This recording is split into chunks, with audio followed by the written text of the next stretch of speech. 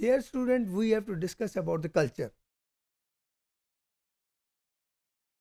Dear student, हम culture के ऊपर जो बात कर रहे हैं हमने जितनी भी गुफ्तगु की उसमें आपने देखा होगा कि दो चीज़ें हमारे पास अगर हम उस गुफ्तगु को सामने रखते हुए बात करें दो चीज़ें सामने आती हैं हमारे पास इसका मतलब ये है कि कल्चर जो है वो हमारे पास इंटेंशनल भी है और अनकॉन्शियस बिहेवियर भी है। देखें, हम गुफ्तगु कर रहे थे और उस गुफ्तगु के अंदर हमने कहा कि हमारा जो बिहेवियर है, जो कि आउटपुट है, ये बिहेवियर बेस्ड है हमारी फीलिंग्स के साथ। यूँ समझ लें, बिहेवियर अटैच एटीट्यूड के साथ, फीलिंग्स और इमोशन के साथ। ये अटैच है हमारे स्टैंडर्ड ऑफ़ गुड और बैड के साथ। ये अटैच है हमारी सोच के साथ। अब हमारी जो सोच है, वो या तो मज़हब की तरफ़ से पैदा हो रही है, या हमारे इदारे, हमारी सोसाइटी, हमारे इंस्टीट्यूशन हमारी सोच डेवलप कर रहे हैं। देखिए, मैं जिस सोसाइटी में मैं रहता हूँ, मैं या तो इंटेंशनली उसकी तरह ऑप्ट करूँगा अपने आप को, ये नहीं यार, ये मैंने नहीं करना, ये मैंने नहीं करना। कि मुझे पता होगा कि मेरे सोसाइटी के अंदर ये एक्सेप्टेबल नहीं है। इसका मतलब है कि मैंने कल्चर को इंटेंशनली उसके मुताबिक अपने आप को ढाला, अपनी सोच को ढाला। उस सोच की बेस पे अपने वैल्यू सिस्टम को बेहतर किया और उसकी सोच पे मेरी फीलिंग्स और इमोशंस भी वैसे बन गए। तो मेरी आउटपुट आई। दूसरे नंबर पे अगर हम इसको लॉन्ग टर्म करते चले जाएँ तो ये मेरा एक अनकॉन्शियस बिहेवियर भी बन जाता है। यानी अगर हम, जिसको हम बात करते होते हैं, आमतौर पे हम कहते हैं कि कंटिन्यूटी जब एक काम में होती है तो वो बुनियादी तौर पे हैबिट में कन्वर्ट हो जाती है। और हमारी हैबिट जो है, ये अनकॉन्शियस के साथ रिलेट हो जाती है।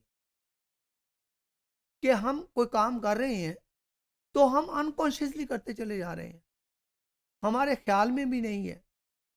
यानी हम अगर यहाँ पे रह रहे हैं, रमज़ान शरीफ का महीना है, हम सोचते हैं कि हर जगह रोज़ा होगा। क्योंकि हमारे कल्चर का एक हिस्सा है।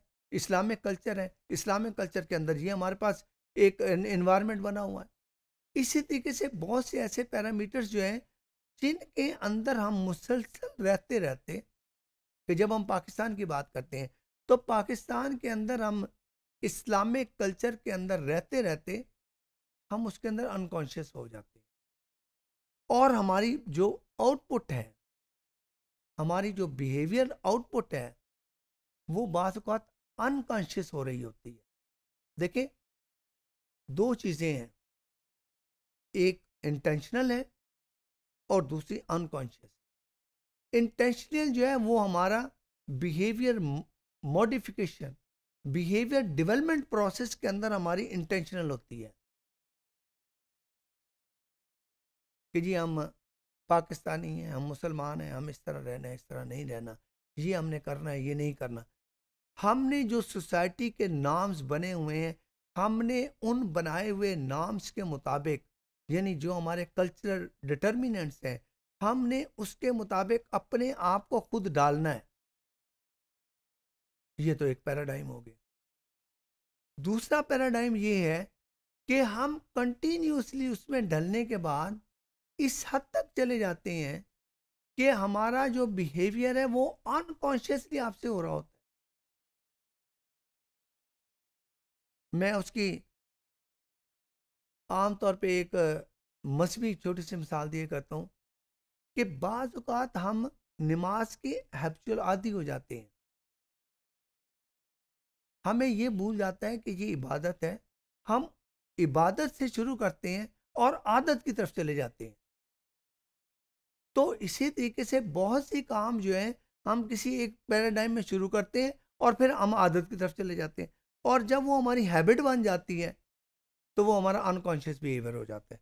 अब ये अनकॉन्शियस बिहेवियर जो है, इसके अंदर जो है, हम आम तौर पे जो हमारे पास रिकग्निशन ऑफ़ द पॉसिबिलिटीज़ है नेसेसिटी है, वो दोनों ओवरलैप कर जाती हैं बात उनकी सब डिवीज़न जो है, वो हमारे पास ओवरलैप करती है।